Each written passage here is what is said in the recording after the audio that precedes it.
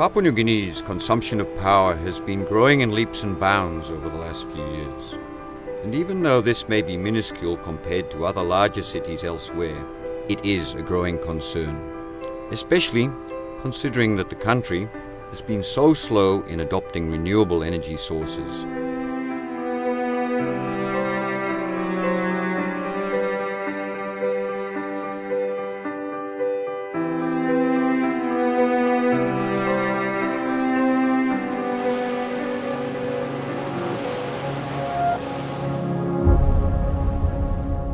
Island of New Britain, the concept of a green future may not be so distant after all. As New Britain Palm Oil, a subsidiary of Sime Darby, the world's largest palm oil company, have been producing biogas to replace their requirements for fossil fuels and to provide in the process a renewable source of energy for the province as a whole.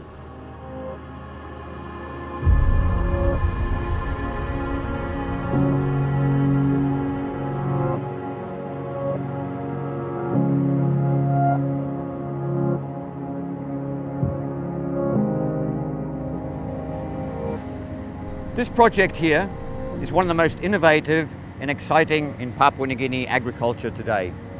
This dome beside me contains a gas called methane. This methane is the end product of all the waste that comes out of the palm oil mill being recycled and reused. The end result is that there is no waste from this industry going into the environment. It is all recycled and reused. This methane can be used to generate electricity. And indeed, New Britain Oil Palm currently use this gas to power all their staff houses and properties around this area. This electricity potentially can be fed into the grid and used by PNG Power. So that little oil palm that we get our vegetable oil from, it can also produce electricity for you and future generations to use. This is very important because it's sustainably and environmentally friendly. So then, in the oil palm industry, there is no waste. Today we'll meet up with Harry Brock, an Englishman like myself, or a one-talk as Papua New Guineans like to say, meaning that we speak the same language. And with Harry, we also share the same hope for a greener future. Okay, Steve, so here we are in the powerhouse. This is where we distribute the uh, power to our own operations and also to the Kimbe grid. So here's generator number three. This is what we're putting into the Kimbe grid at the moment. Um, we're supplying about a megawatt of power, um, which is about 25% of the uh, requirement for Kimbe, uh, total requirement being about four megawatts of power. So uh, um, we're able to, to, uh, to, to, supply to the community as well. Okay, and uh, where can you go with Kimbe from here? You can, how much more power can you supply to them? We can uh, currently with our, our two sites, uh, we can we can potentially give them another 500 uh, uh, kilowatts at the moment. But looking bigger picture, we we've got three more mills where we could put these uh, by the same similar plant to this one, and uh, we think that we can generate somewhere in the region of about 10, 10 megawatts of power of which uh, we could comfortably supply all of, of Kimbe's requirements on our own biogas green energy. So the, um, the switch for Kimbe is where? Uh, the switch is right there, Steve, but I w- I wouldn't push that because you'll get a number of Kimbe residents racing down to PNG Power and screaming at them for, for, for and asking why they're load shedding again. Okay, and um, so potentially West New Britain has the possibility of being totally green energy? That, uh, abso- absolutely, and I, I, don't think it's too far away in the future. Um, with with our biogas projects, New Britain Palm Oil, but also with hydro uh, projects that are sort of in the pipeline. I think within a space of five five to six years, if if the will was there, um, all of West New Britain could be uh, run on green energy. New Britain Palm Oil has been forming partnerships over the years not only with smallholders who, in conjunction with the plantations, provide the fruit needed for the production of palm oil, but also with other important institutions. For example, with PNG Power, under what is now known as a Public Private Partnership, or PPP, which has become something of a buzzword in recent years. You know, the most successful PPP that Papua New Guinea's probably had is in the oil palm industry in this smallholder nucleus estate model. Uh, in more recent times, where, where, we've just seen the biogas, uh, there's another PPP that we've established with uh, PNG Power in terms of us uh, selling our, our, our uh, electricity into the grid. And uh, I see a lot of growth happening in that area as, as the company sees to look to kind of control the costs uh, of the business.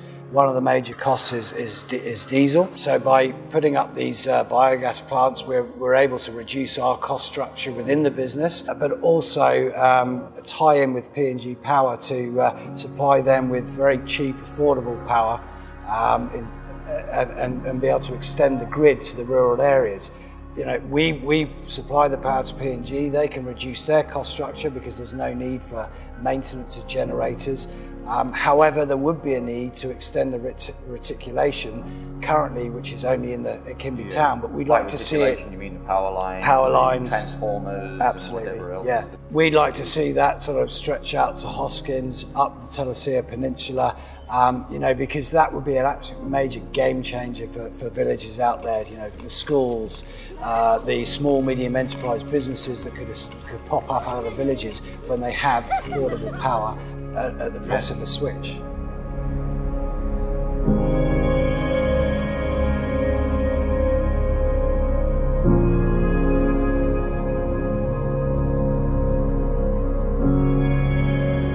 I feel like I'm standing on top of the world. And indeed, I should be. Below me is enough energy to supply the town of Kimbe and the surrounding areas with power for three days. This has been agriculturally generated, or what we call green energy. Although groundbreaking, biogas is just a byproduct of oil palm production, while the real protagonist is a small red fruit that can be used in a hundred different ways. And to understand its real value, we will have to go down, as always, to the grassroots level and meet some of the players responsible for the success of this industry.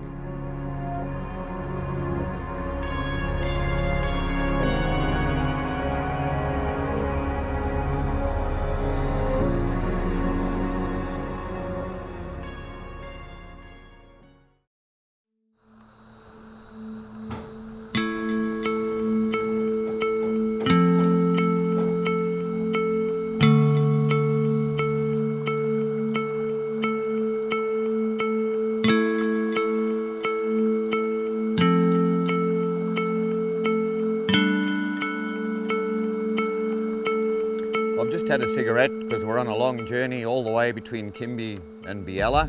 We're in West New Britain province, which is also known as oil palm country. I always like to stop here. It's one of my favourite spots because of the beautiful blue, clear river that comes out of the limestone mountains. Now we'd better get back in the car because we've still got a fair way to go.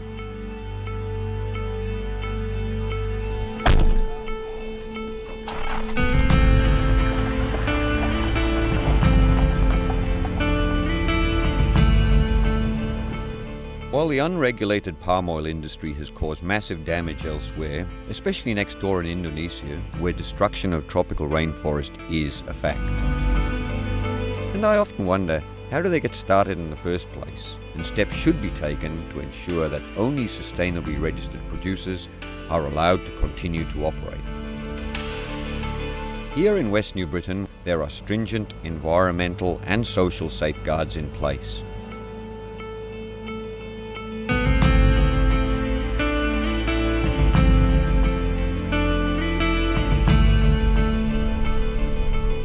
Today we'll be meeting up with Graham King, the General Manager of Hargy, a multinational company from Belgium with many projects around the world including Papua New Guinea.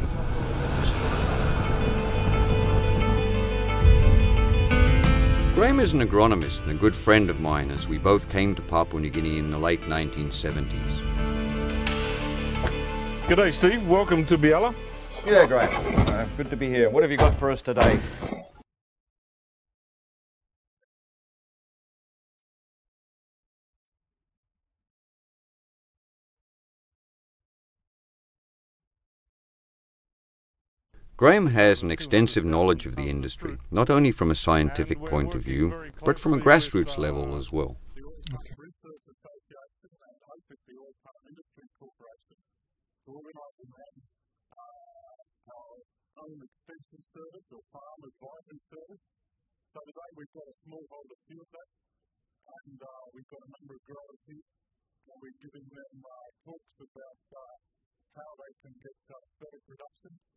and better yield from their block and doing it Morning, Olgeta. Morning. Good bla jubla kamlo on this la field day blom mipla.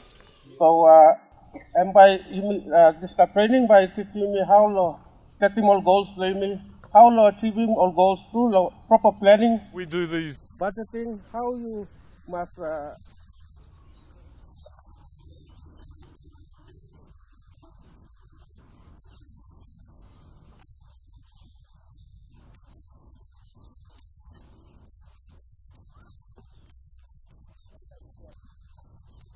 But uh, mibla creating from contract, contract work. Uh, contract work mibla giving namel lo la ol mangiet lo block lo apply mo fertilizer. So this lo fertilizer kami puran lo block na you lo block money no apply. Mibla engage him this likely contract lo apply mo fertilizer then mibla charge him block man. Ama trikina lo one block back. Uh, the growers and their wives and their kids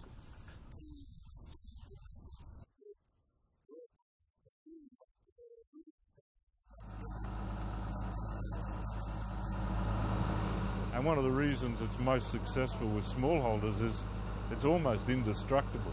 They can abandon it and come back five years later, clean it up, put fertiliser on, and away it goes again. One of the reasons for the success of the oil palm industry is that the small farmers and the company works together. This is called a nucleus estate arrangement. This concept is very effective and unique to the oil palm industry. As a driver picks up the fruit at the farmer's gate, he prints out a receipt on the spot, and the money goes automatically to the grower's account, avoiding the possibilities of a misunderstanding on the actual value of the farmer's production. A family can make on average a thousand kina every fortnight, provided that they attend to their blocks regularly and not only when they're in desperate need of cash.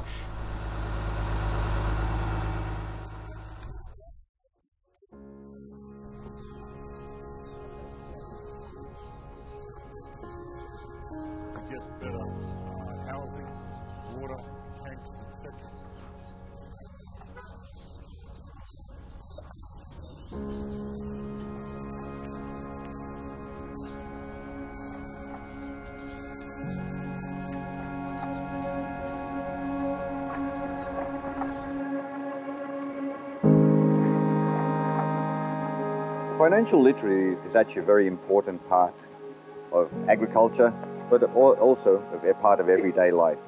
So it's good that it's being taught to these people. Traditionally in Papua New Guinea, money earned from cash crops goes to the men.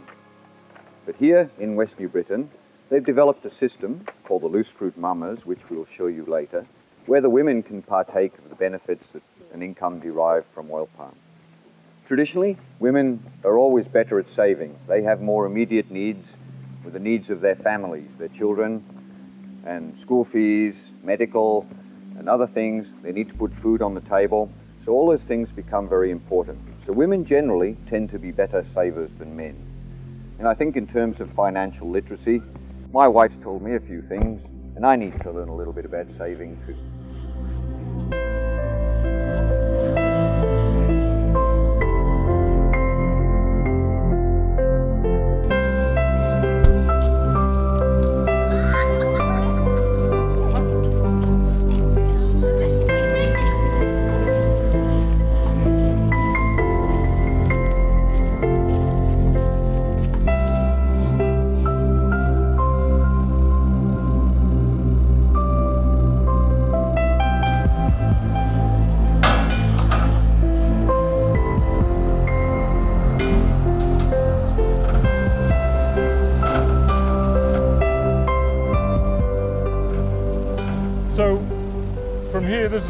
Loading ramp. The trucks come in and empty the fruit here.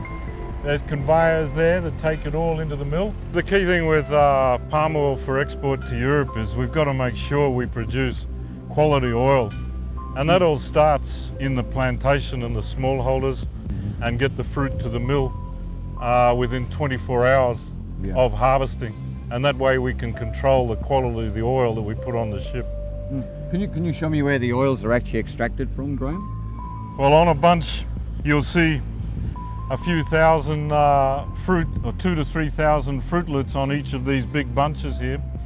And the crude palm oil comes from the mesocarp around the, orange outside. And if you squeeze that, you can see there's, there's lots of oil in there. And the palm kernel oil comes from the white kernel in the center Which is Uh, actually the seed. That's that's in the seed, yes. So in the mill we have to sterilize it very fast to cook it to 180 degrees for uh, 90 minutes so that we can uh, kill the bacteria that oxidize the oil. And we want to be loading on our ships uh, with oil around 4%, certainly less than 5%, what we call free fatty acid or FFA. And that's the mark of the quality of our oil. The end product is the two oils which have to be further refined to produce the cooking oil that you purchase at your store. West New Britain has its own refinery, the only one in Papua New Guinea. And there is also a Papua New Guinea owned refinery in England which refines West New Britain oil and has more direct access to the European market. Well, Steve, in the lab here, we've got some samples of the, the final end product of what we produce. This is the end of the process that we've seen today, right from field Yeah. to through the factory. Everything we do is about producing this stuff and exporting it to Europe. Mm-hmm. So for every ton, uh, this is crude palm oil, and this is sustainably produced. When we get one ton of, of fruit in, we get 250 kilos of that, Okay, and we get 20 kilos of palm kernel oil that's from the little nut. the, from the little nut yeah. that mm-hmm. gets crushed. Yep. The income for Papua New Guinea is something like 1.5, 1.6 billion kina a year from the export of palm oil products. Mm-hmm. It's very valuable, particularly in West New Britain. This one's used for frying your chips. Um, a lot of different products. This one's mainly for making chocolate and uh, confectionery and cosmetics, particularly. That one goes, uh, a lot of it goes into cosmetics. So it, it has a lot of uses. once it leaves 150 different uses. Yeah. As in many other industries, the production of palm oil has its own challenges. And Harry Brock, who's been observing how the sector has changed over the years, Another- rightly another points out which a- that population growth is one of the major challenges faced by the smallholder sector going into the future. if you go back to when, when these projects were started in the, the late 60s, um, the local Smallholder. the smallholder side of things, and, and um, it initially started with uh, you know some of the state land being portioned up into four hectare blocks for, for, for the uh, families that came from, from other parts of Papua New Guinea. Um, and they were a family of five, and they were supported by a four hectare block of oil palm. But uh, what you're getting now is that the families are growing. Um, so they're now what was a family of five is now probably can be up to a family of 20. The revenue that they source from their smallholder block is, is now spread over a much larger number of people. Even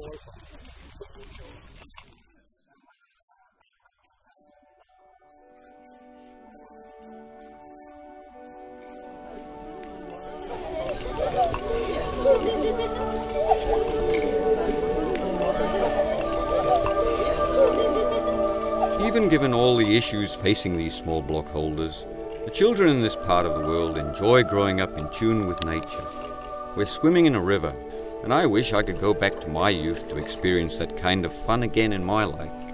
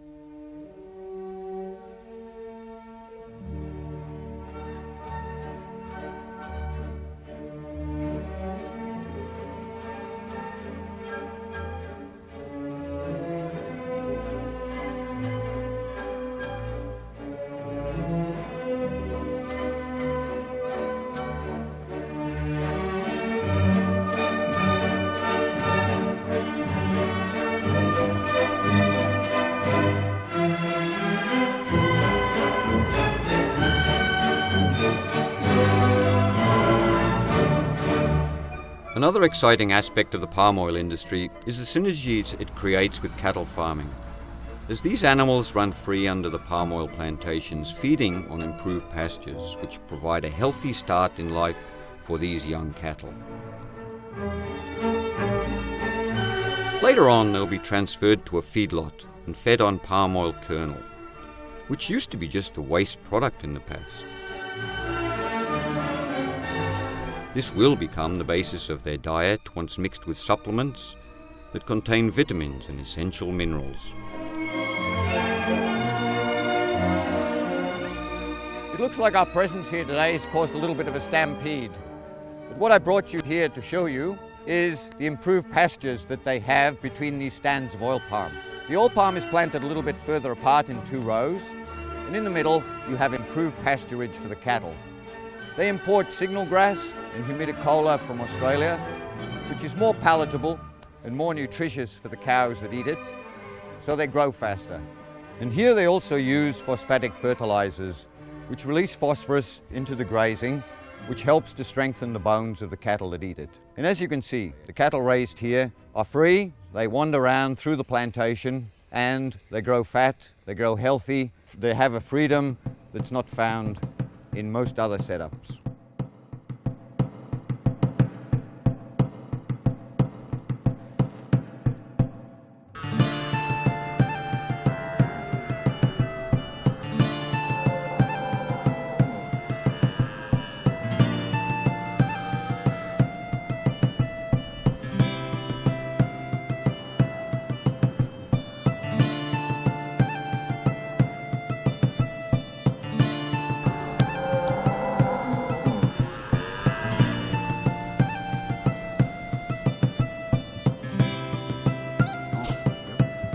What we have here is oil palm expeller.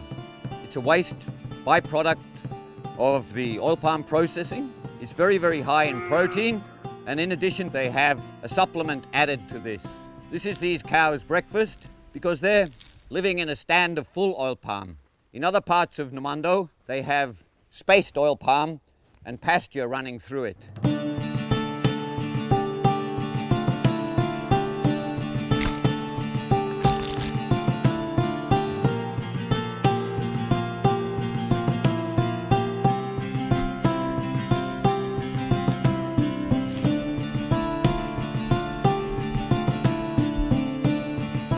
Okay, we're going from here to the feedlot, and that's uh, where we will see the cattle that are finally going to be fed. I'm not um, all that good at driving these things, as you'll probably see, but we'll give it a go.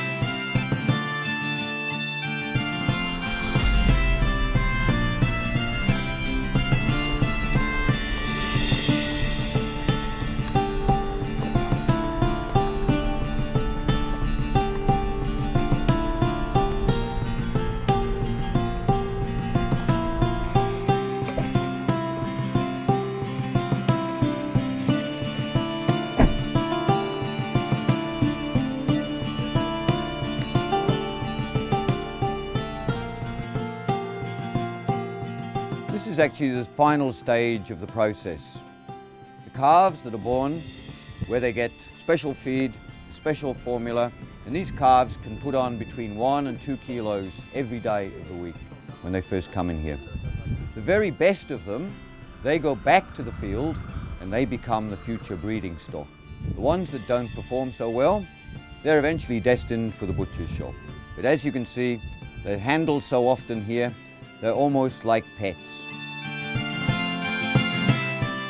Here, we'll go and have a look at the um, abattoir, the freezer facilities, because Numundo beef is sent to different parts of Papua New Guinea as well, not just consumed in the West New Britain market. And then we'll go and see the final step in the whole process, which is actually Numundo Beef's own butchery. And I'll be buying some meat there myself.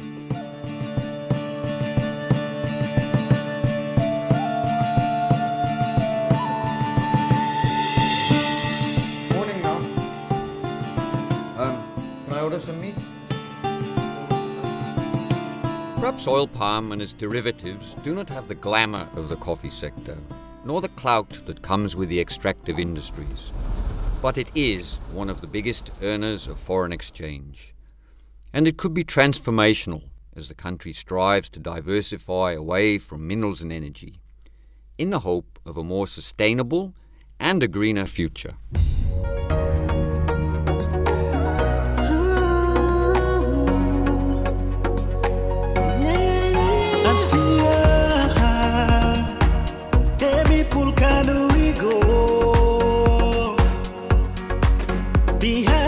Stay tuned for the last episode of Farming PNG on East New Britain, next Thursday, the 11th of May at 7 pm on this network, marking the end of our initial journey along Papua New Guinea's agriculture sector.